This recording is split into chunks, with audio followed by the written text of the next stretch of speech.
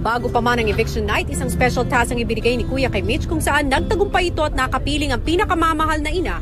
At dahil sa tagpong ito, si Tan labis na apektuhan at nangulila sa sariling pamilya. Parang namimiss ko din po yung mother ko po, kuya. Mamas boy po ako, kuya. Katabi po kami matulog ng mama ko po, kuya. Yun po yung namimiss ko, kuya.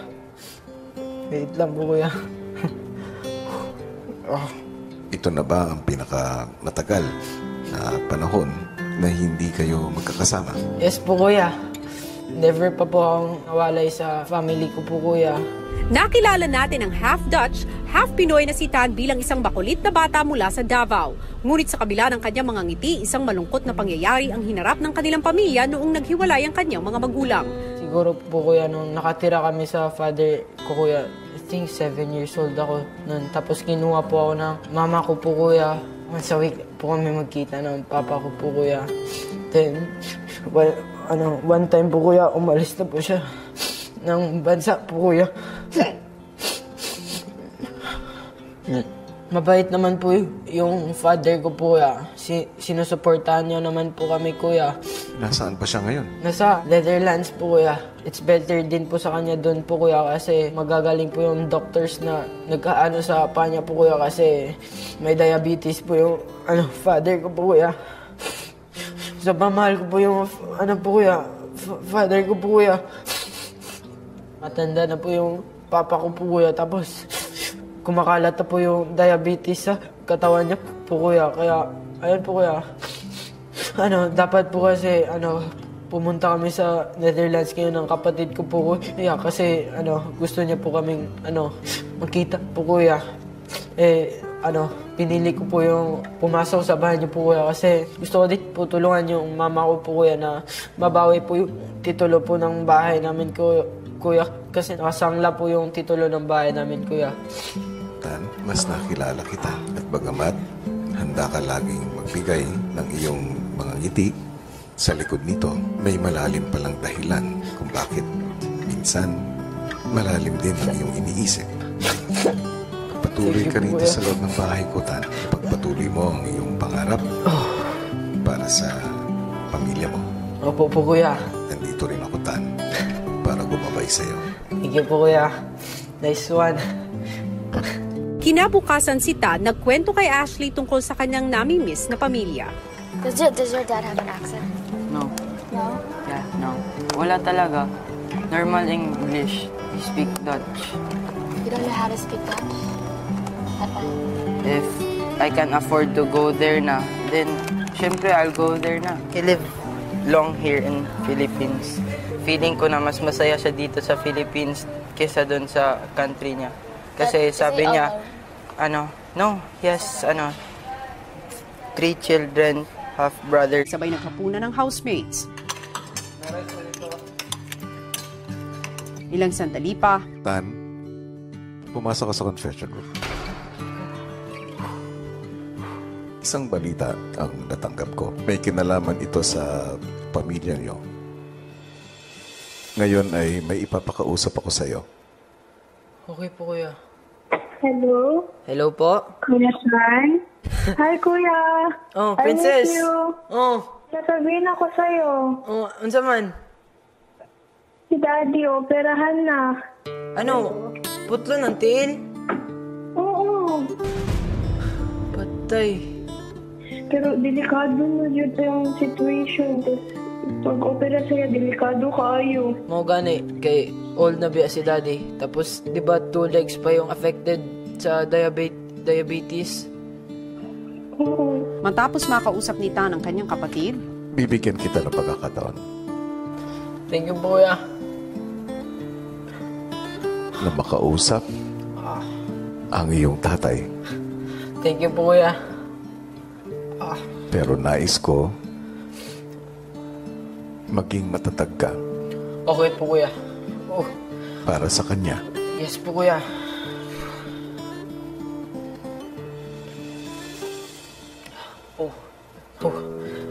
First, time first.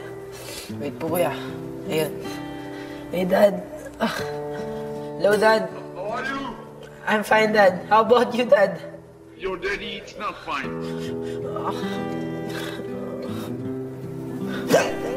I miss you, friend, I Miss you too, Dad. so much. Right? Are you sure with what you're doing, Dad? They have to take it off. Otherwise, it become more and more and more. Yeah, It's life. yeah, that's life. But this, this today I got so many uh, things they have done to your father. Yeah, I'm happy I don't have cancer. You know, everything is okay. yeah. Dad, but be strong. Yeah, but your daddy's strong. You know, I don't die. Yeah, you're strong. I know that. Don't worry. How do you feel? I feel okay. The real one, Dad. Do you really? Do you feel pain so much, Dad? Yeah, but we have we have a lot of things here for pain. Yeah. Be Don't strong, worry huh? about that. We got very good doctors. Yeah. You know, That's and, good. uh, I got also a very good doctor in Davao. Sayang I never see her anymore. that beautiful lady. but anyway, uh, Dad, stop that they Don't be, good boy, me. ah. All the doctors what I got were good doctors. Yeah. you will live know? long pa. I'll pray for you. Thank you. Yeah. Um, I love you so much. Promise me, um, I'll still talk to you when I go there, ah. Don't get, ano ha? I, Promise me that. no, no, no, no. Don't get, ano dad ha? Promise me that. No, don't cry, huh? Be strong. Yeah, I'm not crying. There's just, ano, smoke. Like, be strong like your father. Yeah. Huh? Yeah, okay dad. Love you dad. Love you so much. Love you.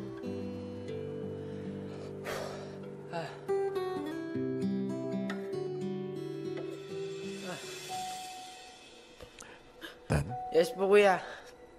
Thank you po kuya. Ha. Uh, anong nararamdaman mo ngayon? ano po kuya? Siyempre po kuya, malungkot po kuya kasi ano natatakot po para sa sa papa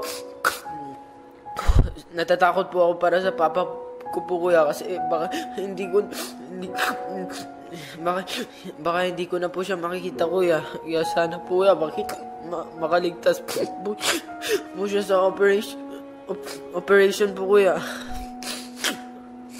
Dan, yes po kuya.